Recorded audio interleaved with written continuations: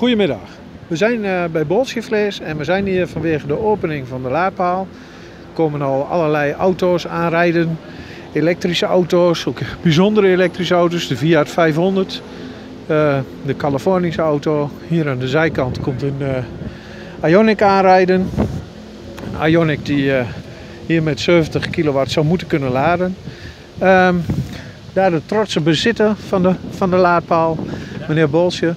En de trotse technieker, die kijkt heel interessant en heel moeilijk. Maar die weet er alles van. En de trotse bezitter van de Fiat 500 uit Californië.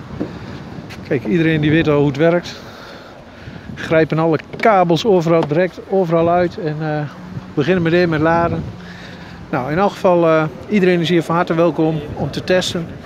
Um, er is ook een barbecue, dus los, los van de paal kun je ook nog een uh, hybride burger, geloof ik, uh, meneer Bolscher, een hybride burger eten.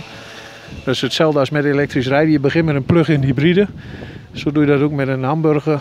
Eerst 50% vlees en dan 100% vegetarisch.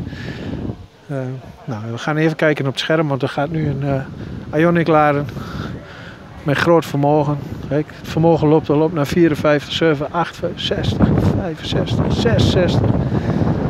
Bijna 67 kilowatt.